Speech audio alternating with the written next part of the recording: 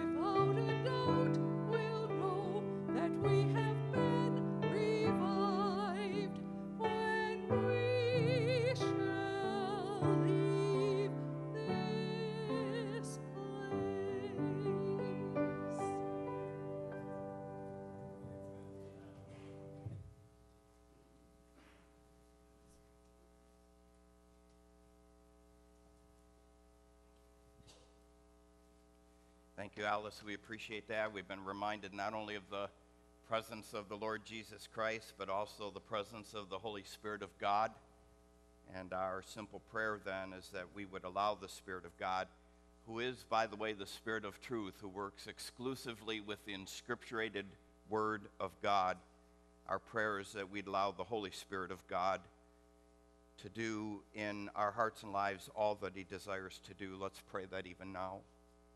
Oh God, we are so thankful for your ongoing and great work in our lives. And much of it, amazingly so, is hinged upon our cooperation, yea, our desire. Such is the case with the Holy Spirit of God as it relates to God's people. For the fact of the matter is, we have the capacity to quench the Holy Spirit of God and to grieve Him not only our sin, but our apathy. And again, when we think about the desire of the Holy Spirit of God, the Spirit of truth, we, we- have no doubt what He desires to establish in my heart again today is the truth. And I pray, Lord, that I would not only cooperate with that, but that that would actually be a deep desire on my part. And then I pray that for your precious people in this place. Be our guide, our help. Do your great illuminating work, O Holy Spirit of God. As we open up the pages of your book, we pray for Jesus' sake. Amen. Our study in Titus continues. We are working our way through a section of the epistle, chapter 1, verses 10 through 16, where the great apostle Paul is speaking to young pastor Titus about the issue or the topic of false teachers and their false teachings. We come this morning to verse 14. Let's read. Let's pick up verse 13 with verse 14. So here we go Titus chapter 1, verses 13 and 14. Verse 13 says, This witness is true. It's referencing what was just said previous that the Cretans are liars, evil beasts, and slow bellies. This witness is true, wherefore rebuke them sharply that they may be sound in the faith. And here's verse 14 not giving heed to Jewish fables and commandments of men that turn from the truth. Oh, yeah, you shouldn't have read verse 13 because now I got to give you a leftover. Bad move. You remember the word sound at the end of verse 13 speaks of spiritual health, of being well spiritually. We're so often and sometimes rightfully so concerned about our physical health, but there is a greater issue, and it is our spiritual health. And so we're in the process of welcoming God's um, Spirit stirring our hearts concerning the import of our spiritual health and well being. And you recall that we said that spiritual health cannot be arrived at nor maintained apart from our engaging the book that you're holding in your hands this morning, apart from our systematically, regularly, and even daily eating God's inscripturated word, the B I B L E. We noted that the uh, Word of God is our spiritual food, which produces, first of all, produces and then maintains spiritual health. By the way, I don't want to sidetrack you, but we perhaps are recognizing that there's truth to the well known statement that you are what you eat. Now we understand, you know, the physical aspects of that and the lacking of such. I mean, if you all you do is eat tomatoes, you're certainly not going to turn into a tomato. But I wonder if that was the case, what you would be. I, I would be probably a pretzel. and not any pretzel, it would have to be Snyder's of Hanover hard sourdough pretzels with salt. Sorry. Or maybe I would be a deer. Or probably a chicken. or at least a chicken's egg. Boy, I had all kinds of fun thinking about what you would be.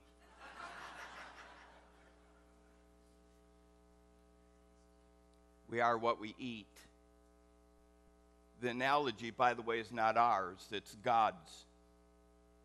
That you and I ought to be feasting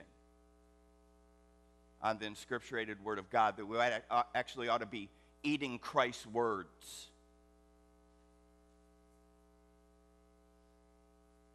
The Word is our spiritual food. It's impossible for us to first arrive at spiritual health and then maintain it apart from our engaging, again, regularly and systematically and daily, God's word, not mine, then scripturated word of God. Because we are going to continue to hover over this truth, I, I, I wanted to pause and quickly show you this is the leftover.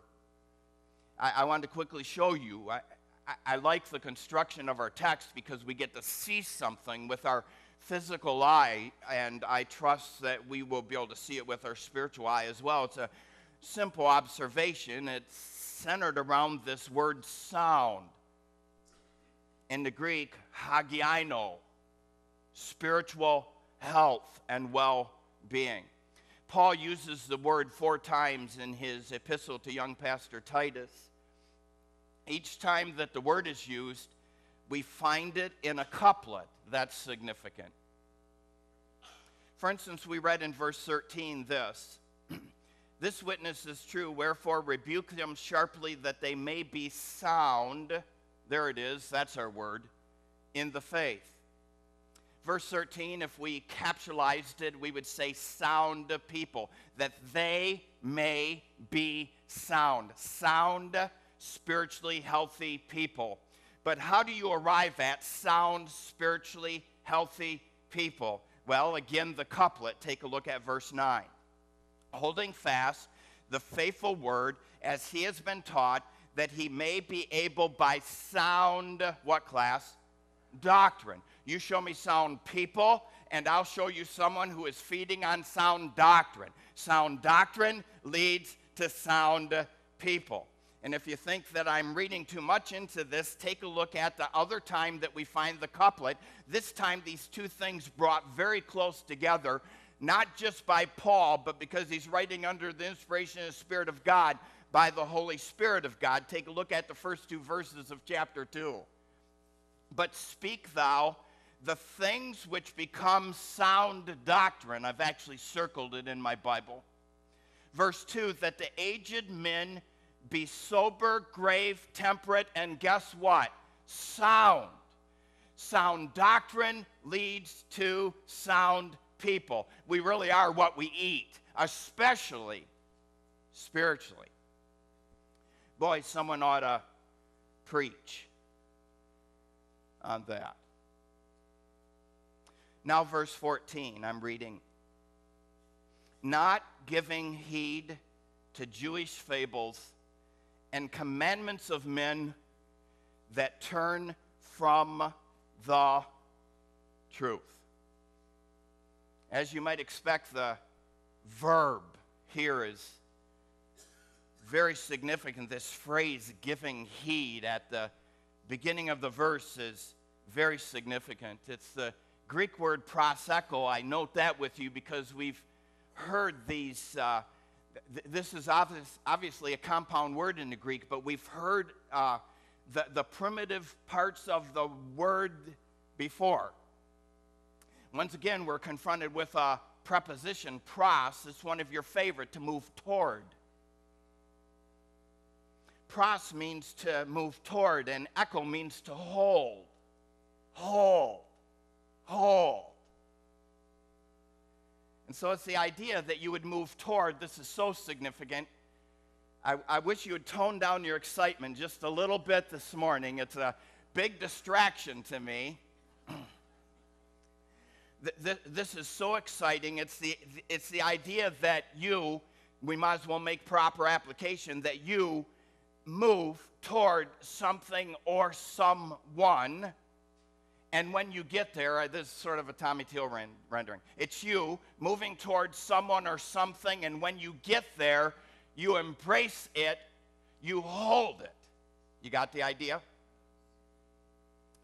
I, I can demonstrate it for you positively. I have to tell you because I'm not good at this, I have to tell you that I'm pretending to be a robot.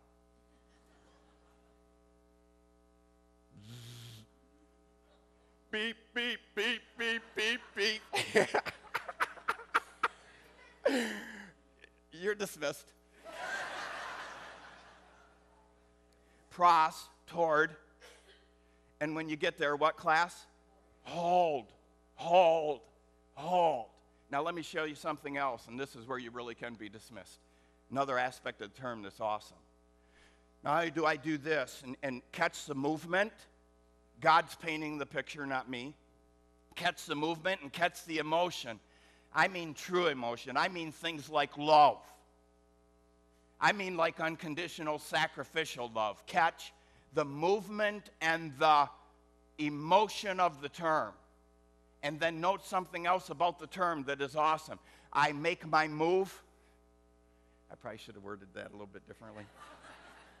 I move, I come toward, I embrace, and then invariably the thing that you embrace will in turn embrace you.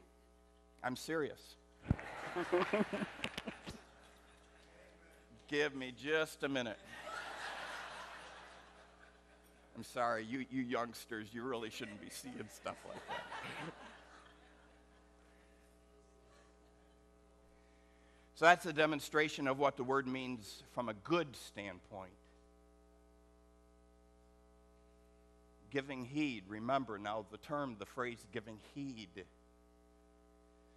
That's a demonstration of what the word means from a good standpoint, but here in our text we have the term used and couched within a negative uh, backdrop, the idea that it works both for good and for bad. And of course, when everything is said and done, what's at what, what's at the topic here this morning is not so much my love and devotion to Anne, but my love and devotion to God and to the things of God and to the Word of God. That I would be with emotion moving toward something. And when I get there, hold it. Knowing that more than likely what I hold will in turn hold me back. I want to step back just a moment before we get real specific here, and, and, and that is please know and note with me this morning that you and I are giving heed to something. May I say that again? The question is not whether or not you and I are giving heed to someone or something. We are. The question is to whom are we giving heed? To what are we giving heed? And note something else with me, a little bit of grammar. The verb here is in the present tense, and you know this well. See, we don't have to be Greek scholars to understand and appreciate some of the beautiful nuances of truth forthcoming from Greek. Golden nuggets, some of you have deemed. The verb is in the present tense, which signals to us that this is not a one time thing in the positive realm in regard to my approach to God, the things of God, and specifically the Word of God or the commandments of God, as Paul uh, d- describes and delineates here. God is not after, nor is he anticipating or looking for that this would be just a one time thing. God's anticipating, it actually is true in the negative realm, in fact, that's what's going to become increasingly clear to us in regard to the people that Titus was dealing with on the island of Crete as they had given heed to Jewish fables and the commandments, not of God, but of men.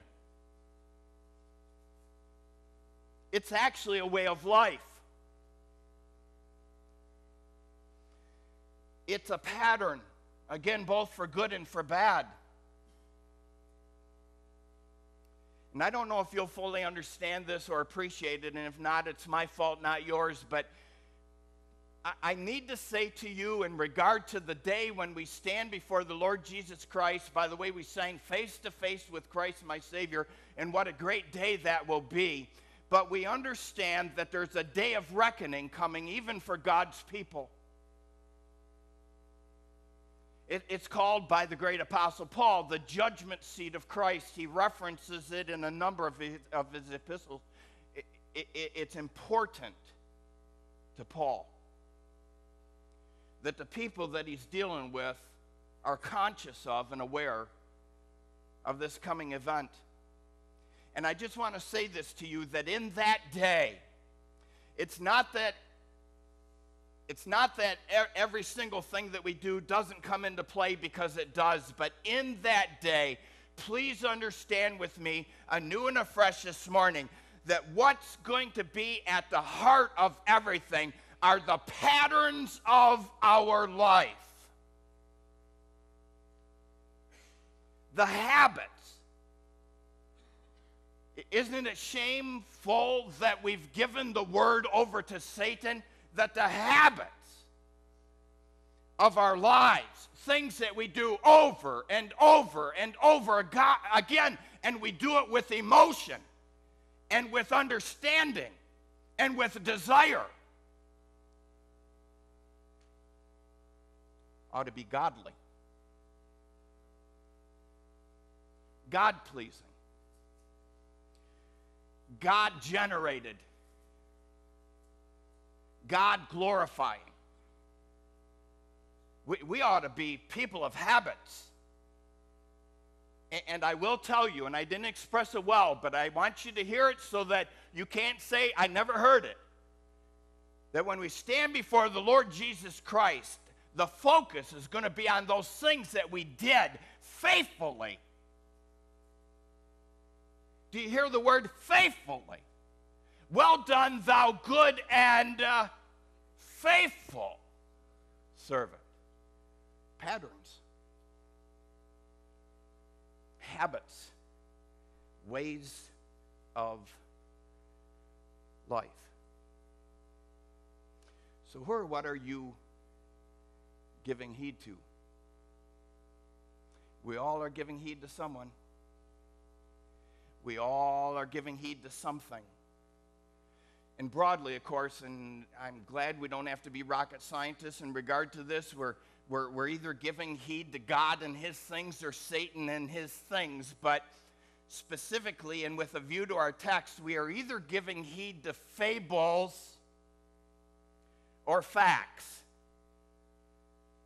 We are either giving heed to falsehoods or the firmly seated truth of the inscripturated word of God. We are either giving heed to the commandments of men or the commandments of God.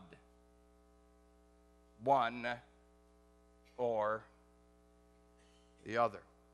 I trust you're seeing this with me. All of life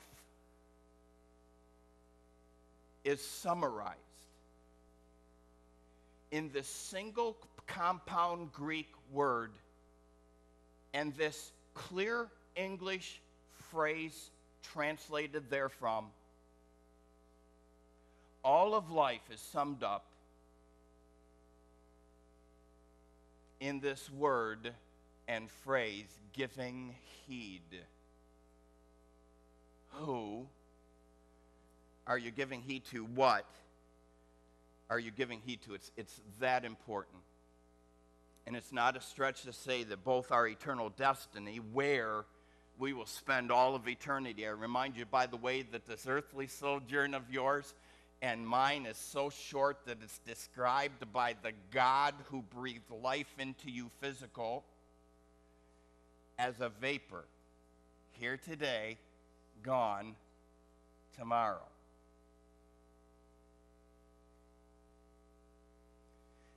Who are what we give heed to, what weighs in the balance is our, is, is, is our eternal destiny, where we will spend all of eternity. And then for the child of God, the one who has gotten things straight by recognizing his need of Christ because of his sin and embracing Christ by faith and trust as one's own personal Savior. For that one, then, the question becomes how well will it be?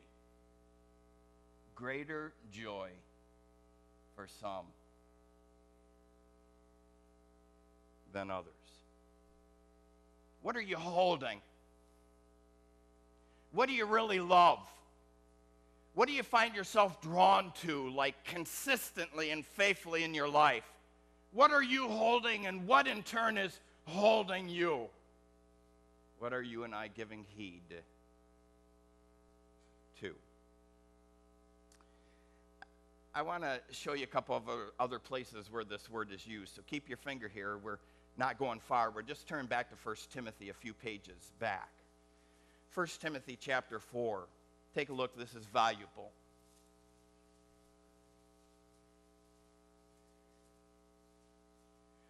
First Timothy chapter 4 and verse 1. Here we go. Now, the Spirit speaks expressly that in the latter times some shall depart from the faith. And guess what? There's our phrase in both the English and the Greek giving heed to seducing spirits and doctrines of devils. Uh, obviously, that's, uh, that's bad. Let me, let me show you the good. Sorry. Oh, you get some good, sophisticated words from that Pastor Tom. Let me show you the good, verse 13 of the same chapter, 1 Timothy 4:13. I love this.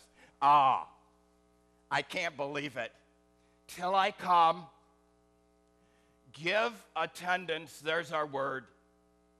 Give heed. Move with great emotion, devotion, commitment, move toward and then hold to. Guess what? The reading of God's Word. Oh man.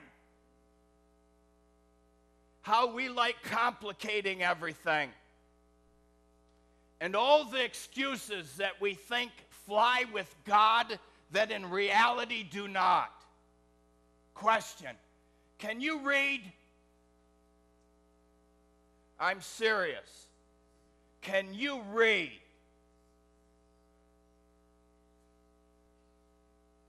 Can you imagine? You know, we, we think, oh, we're above all of these things, and then we're reading along. We've seen it before, but it's neat to visit it again.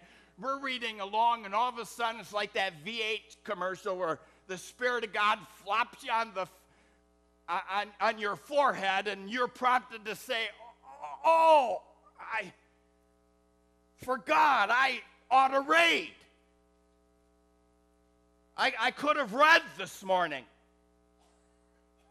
And young people, please understand this. I know a lot of our young people are gone, but we have some here, and you're precious to us. Please understand this. I, I can guarantee this to you because it's based not upon my thinking, not upon my words, but God's. Please understand because, again, we, every one of us, as we reflect back on our lives, especially as young people, we recognize that there was a time when we really struggled with our devotions. I'm sure Pastor Landon is just constantly touching base with our young people in regard to this. There was a time when we really struggled with our young, uh, w- with our devotions, and, and and you know it was hard for us even to pick up the Bible, which again, when you come a little bit further and walking with the Lord, and you walk and you look back and say, how how could that ever be? And, and can you believe that God, he, he meets us right where we're at? And the, here's the question Can you read? Seriously, are you old enough to read? Then God says, Read my book.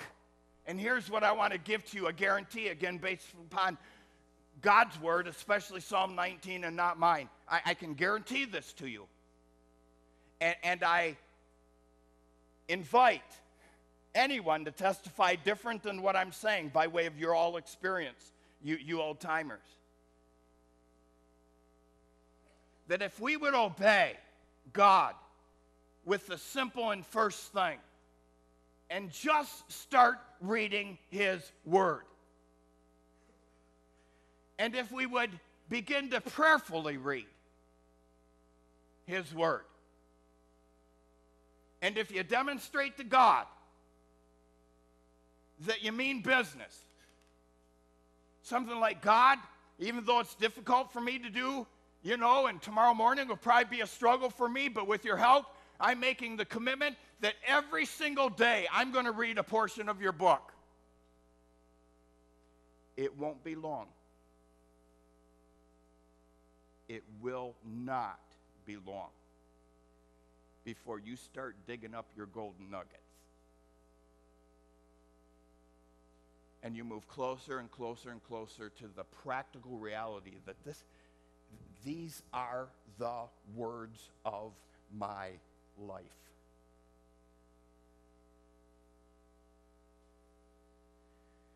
Can you imagine that God's on an eternal record as saying to God's people, give heed to reading? Read. Read. You can read, right? Read. Read. Now it's the beginning, not the end, and that's good news too. It starts there. Read. You see how we're without excuse, even a simple minded man like Pastor Tom? Because believe it or not, I can read.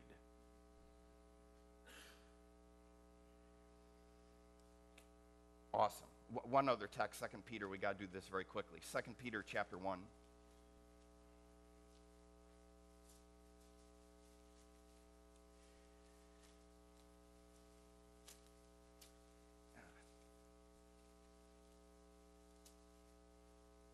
Second Peter chapter 1 and verse 19. Another place where we find this word used. We have also a more sure word of prophecy, whereunto you do well that you, what class? Take heed. Take heed. As unto a light that shines in a dark place until the day dawn and the day star arise in your hearts. And we won't even read the whole verse, but go back to verse 16 where Paul, uh, where Peter appropriately joins Paul in saying, We have not followed cunningly devised what class? Fables. We have got the truth of God's word.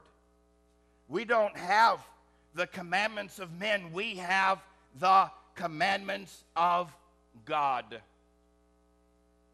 By the way, I got to pick and choose my, uh, my way through here now. The, the word fable that we have here by Peter and uh, used by Paul in 1 Timothy and then in our text in Titus is the Greek word muthos. You can hear myths in it. A fictitious tale. Unreal, untrue, imaginary, non existence, and at worst, purposefully deceptive. Do you, do you see it? You, you and I, every single day, we choose between fables and fact. That's it. It's one or the other.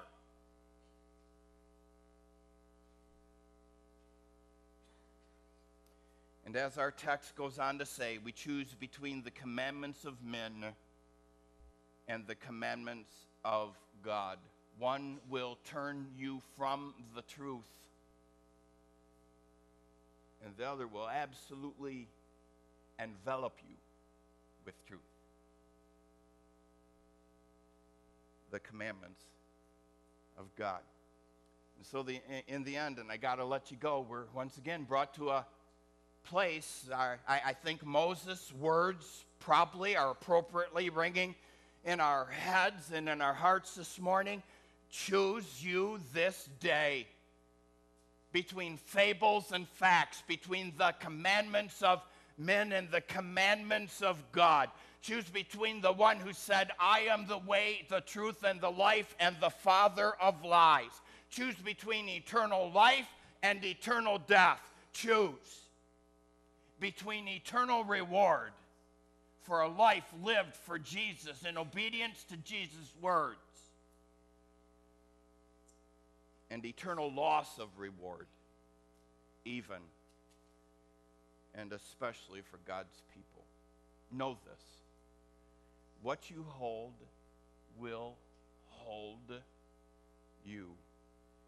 And what you give heed to and what you give hold to, which in turn holds you, determines everything in life. So, what are you holding to? Who's holding you? What are you giving heed to? And if your answer is anything other than Christ and His words, frankly, you are in trouble. See me. I got to let you go. See me. Come now. Catch me in just a moment. But don't leave here today apart from being assured in your heart that who you're giving heed to is the one and only Savior and then child of God, already saved, leave here today with me with a stronger determination be giving practical heed day by day and even moment by moment to the truth. Heavenly Father, impress these things upon our hearts. May the Word of God impact our lives even now, we pray, for Jesus' sake. Amen.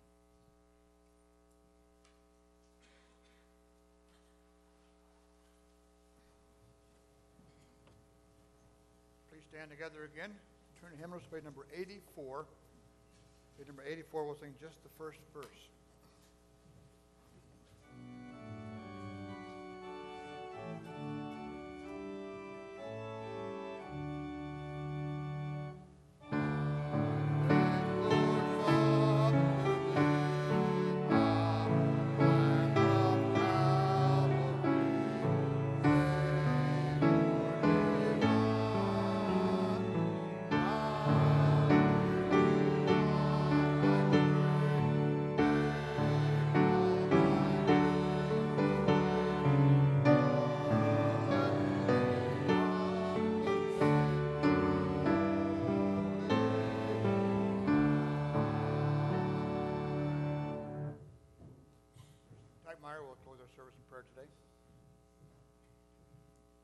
Dear Heavenly Father, we thank you for bringing us together this morning.